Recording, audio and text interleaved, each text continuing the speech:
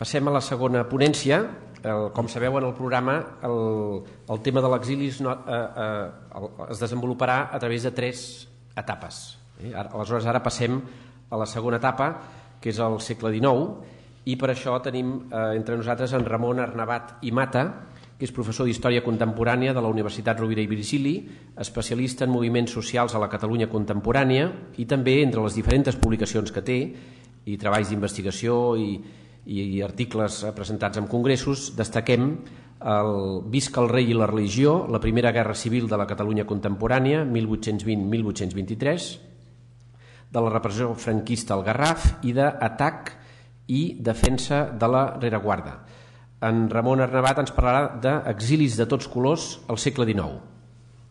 Molt bé, bon dia a tothom.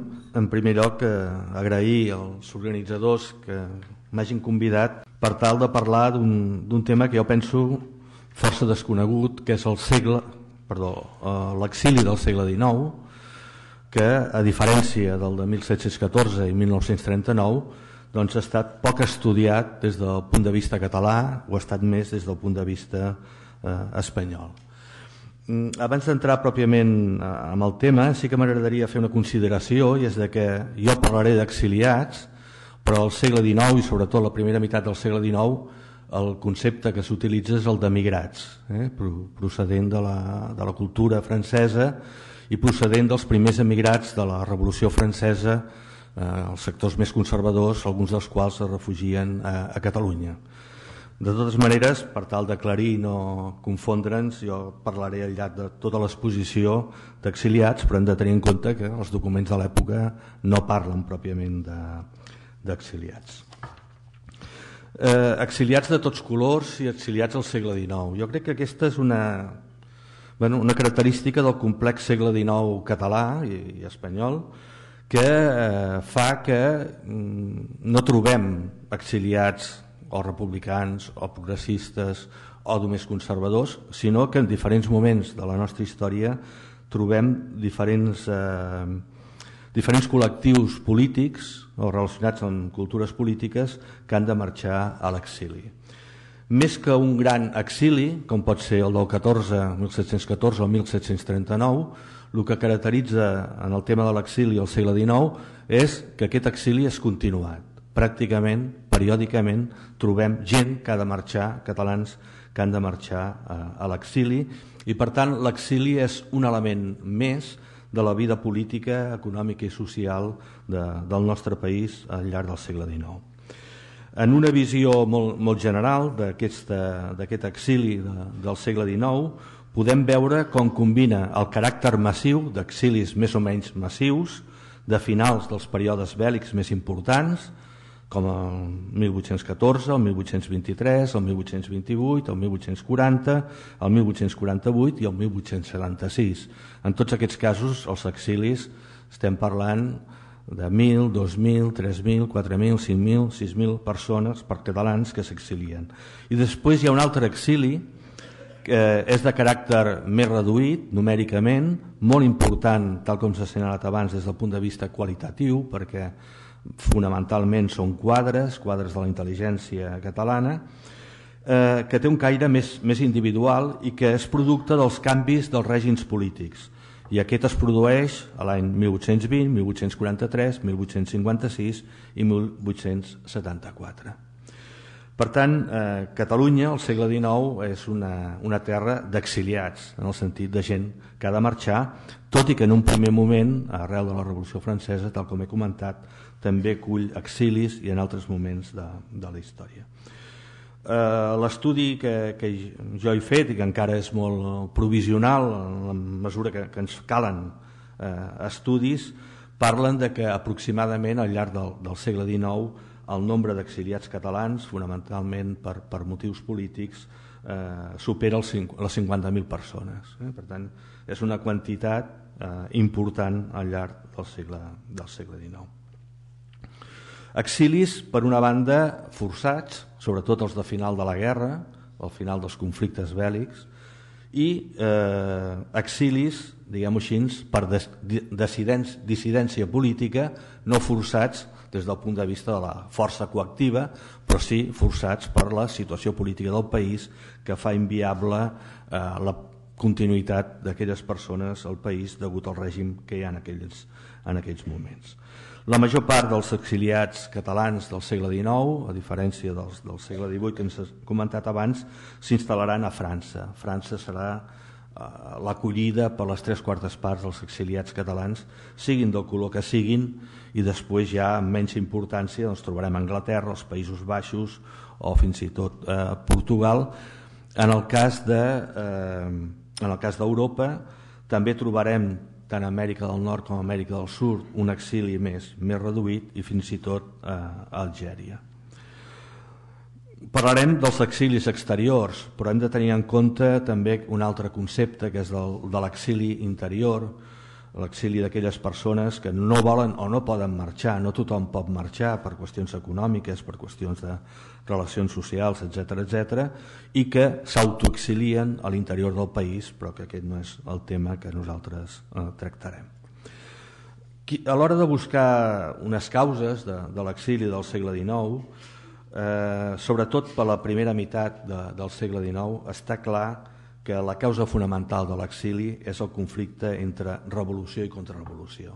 Aquest és el motiu que provoca el 90% dels exilis dels catalans, eh, com a mínim, repeteixo, fins a mitjans del segle XIX.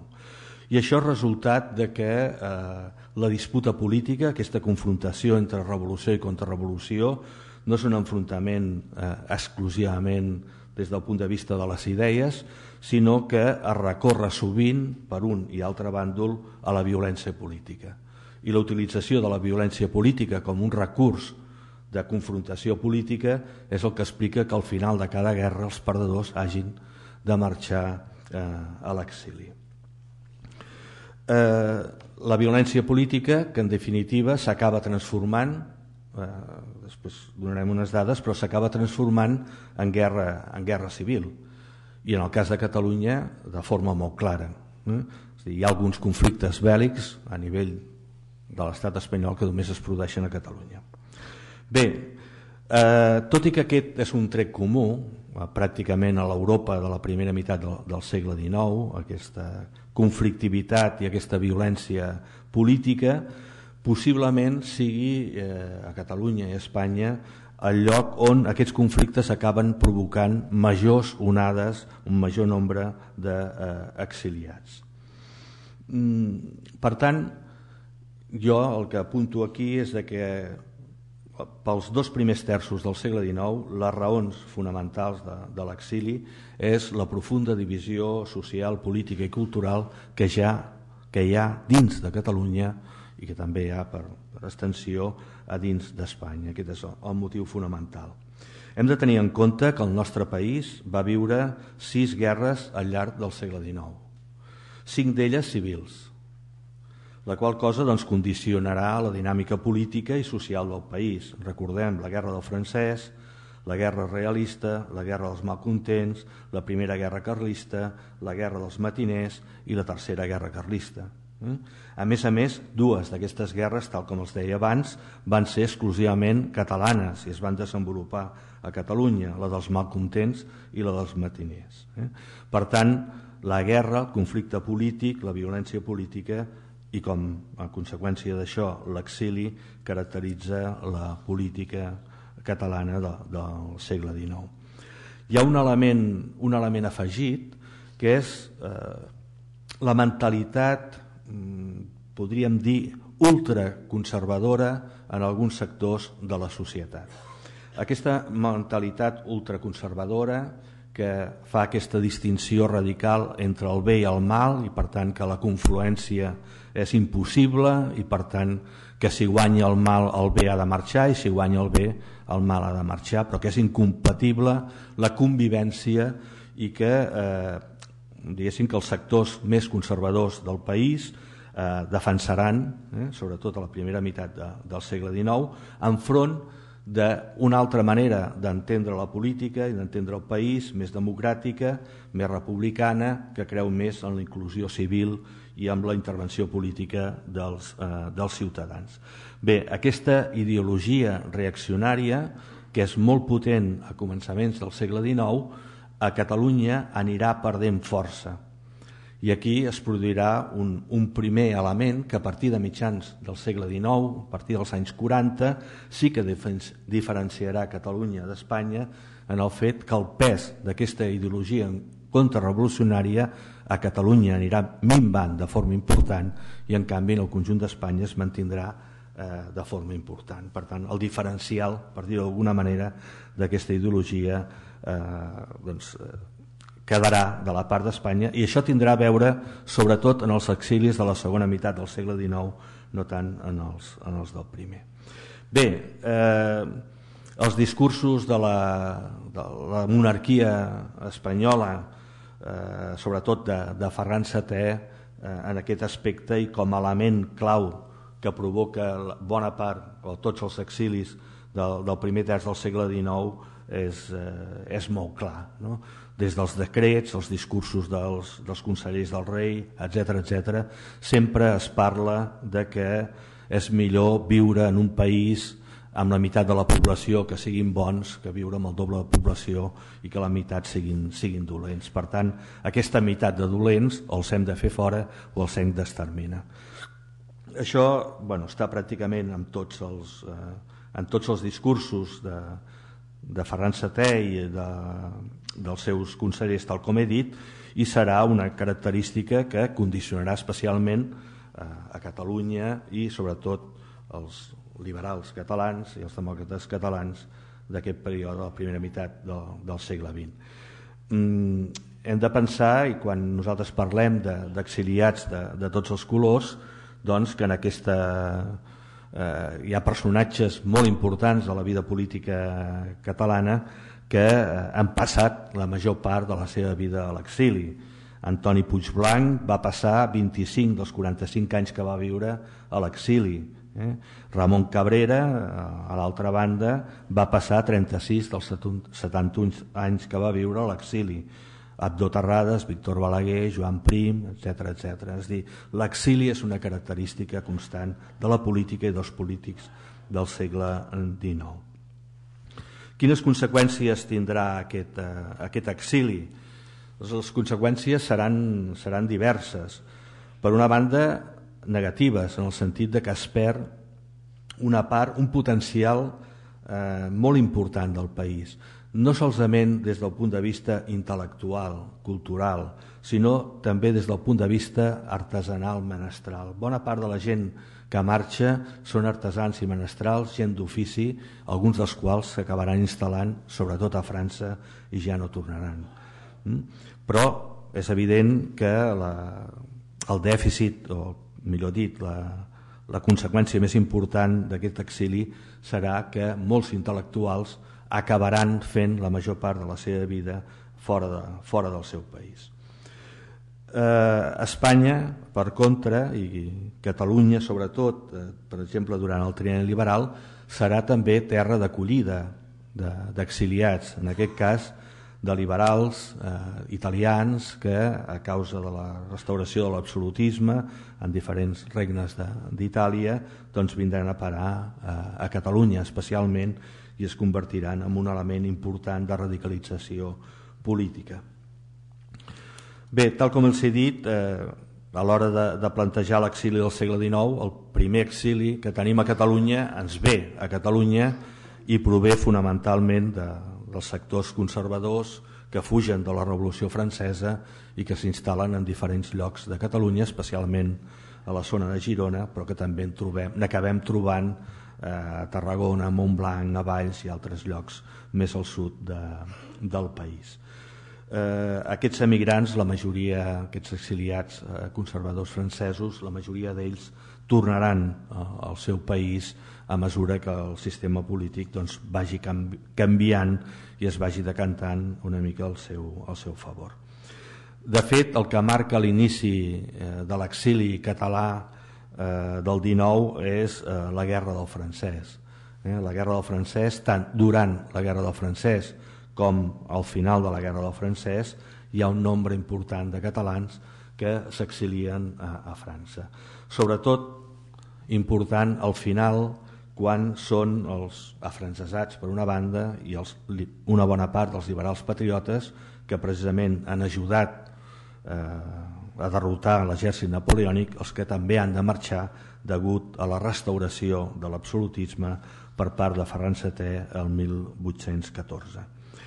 Eh, a més a més, eh, en el cas de, dels exiliats de, del 1814, eh, cal tenir en compte que les mesures que va prenent Ferran VII en els anys posteriors, eh, al maig de 1814, el 1815, etc., el que fan suposadament són amnisties, però el que fan és que més gent marxi a l'exili.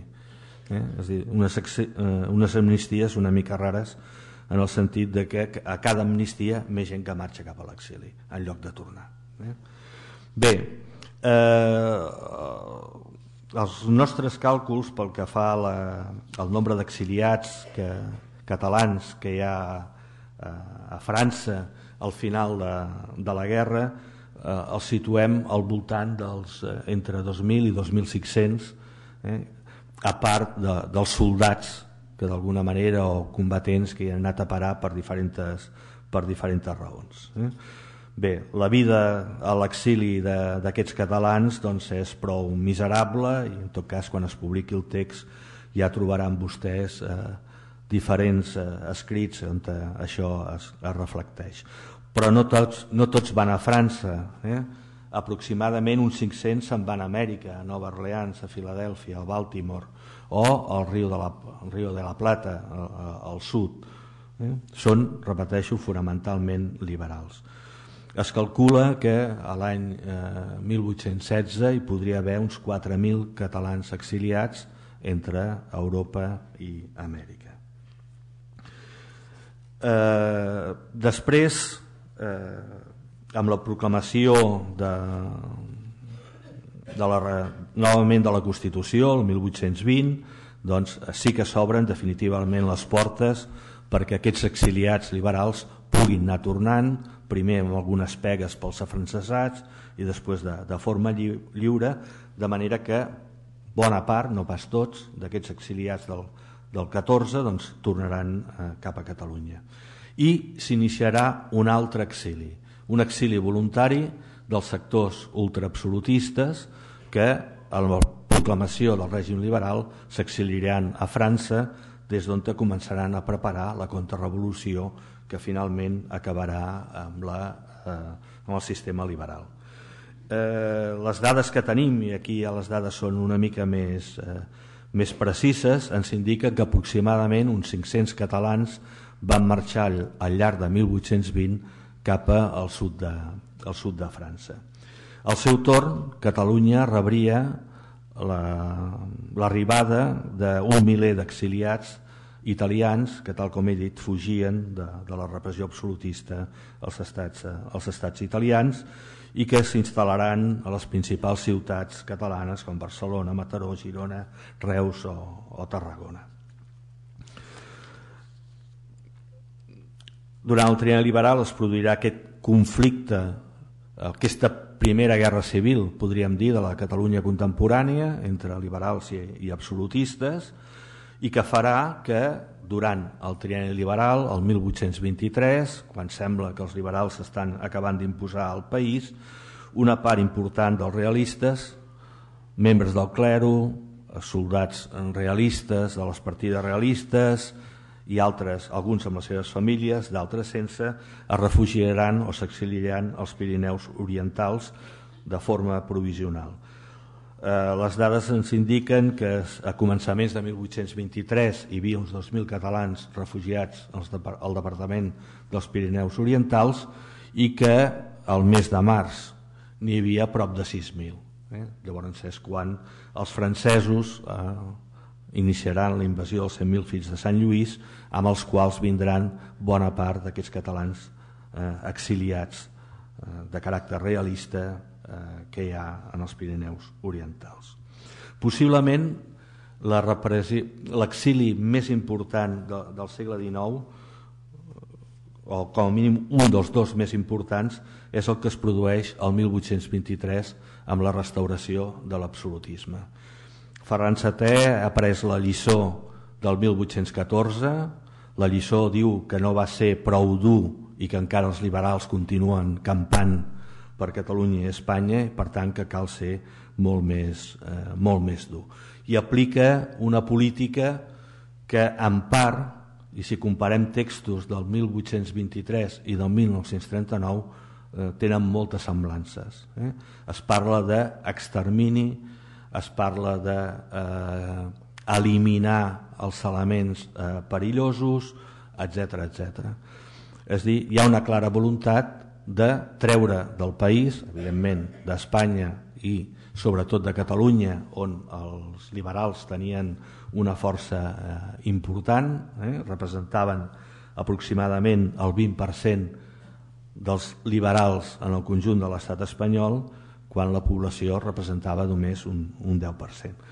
Bé, aquesta política ultraobsoletista, ultra, ultrareaccionària, farà que hi hagi una migració, un exili massiu cap eh, cap a França fonamentalment, però també cap a Anglaterra, on aniran a parar sobretot els, eh, els intel·lectuals. Mm, hem de tenir en compte que les dades que, més fiables que, que tenim ens indiquen que, que només a, a Catalunya entre mil, 1823 i 1824 van ser assassinades amb judici o sense 2.000 persones. Per tant, eh, és dir, la crida cap a l'exili eh, era, estava molt, molt clara. Mm? Eh, es calcula, calculem nosaltres, que el 1823 van marxar 5.000 liberals catalans cap a l'exili.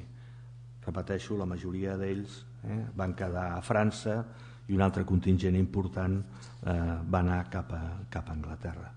És en aquest moment quan Antoni Puigblanc, eh, cansat, que havia estat diputat a les Corts de Cádiz i diputat també a les Corts de, del Trieni, eh, No solo hemos perdido la libertad, sino también la independencia, siendo quien allí manda a los franceses. Y gracias pues a Fernando y su infame clericalla, iban a acabar con todo hombre notado de patriota, de no contenerlos los franceses. Lo que yo deseo, con, con respeto a la suerte de Cataluña, es que verifique su agregación en toda la izquierda del Ebro con Francia, de la cual hay bastantes aparatos. Jamás he sido adicto a los franceses, pero habiendo legado las cosas a ese extremo, lo tengo todo por menos malo que ser españoles. És a dir, eh, el conservadorisme a Espanya, la reacció és tan forta que el que planteja Puigblanc és que abans que espanyols francesos. Eh?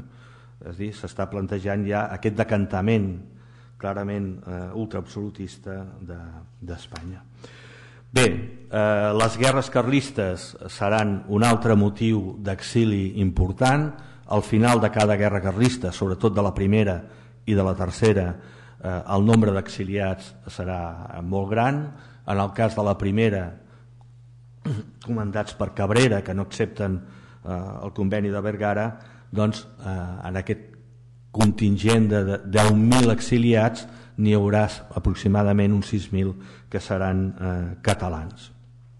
Per tant, l'exili carlista comença a ser present i a tenir força a l'altra banda de la frontera i el tindrà periòdicament, perquè després es trobarem en la Guerra dels Matiners, que provocarà un nou, un nou exili. Però a partir eh, ja ho deien, de mitjans del segle, a mitjans del segle XIX, les coses canviaran i excepte el, mil, eh, el 1876, al final de la Guerra Carlista, excepte en aquest moment, durant la segona meitat del segle XIX, el gran nombre d'exiliats seran, podríem dir, progressistes, entenem per progressistes, demòcrates, republicans, més endavant anarquistes, més endavant eh, socialistes, que per raons polítiques hauran d'abandonar el país de, eh, de forma important i alguns aniran i tornaran de l'exili de forma eh, constant, per dir-ho d'alguna manera.